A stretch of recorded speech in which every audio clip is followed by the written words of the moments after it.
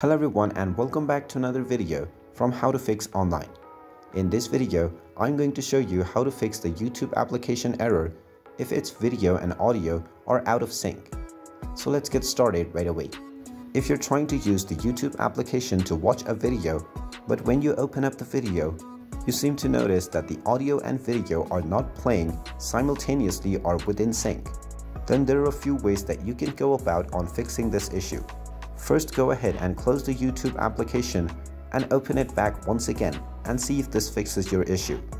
If this doesn't work, then make sure that you are updated to the latest version by opening up the iOS App Store or Google Play Store and searching for YouTube.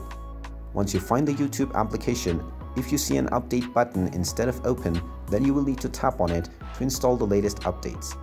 Just wait for a while after tapping on update and this will begin the download and installation of the latest updates for YouTube. Once the update is completed, you will see the open button once again.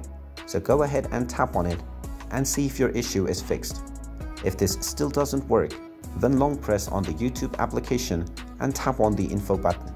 Now from the application info page, first of all tap on force stop at the bottom right corner to stop the application. Then scroll down and tap on storage. Now from the storage page, tap on Clear Cache first to clear your application cache for YouTube. Then tap on Clear Data at the bottom left corner and tap on the Delete button to clear all of your user data for the YouTube app. Now, once this step is done, you will need to log into your account once again on YouTube, but after this, your YouTube application error for the out of sync audio and video will be fixed. And there you have it. That is how you can go about on solving the issue for your YouTube application if the video and audio are out of sync. If you find this video helpful, make sure you hit that like button and subscribe to our channel if you haven't done so already.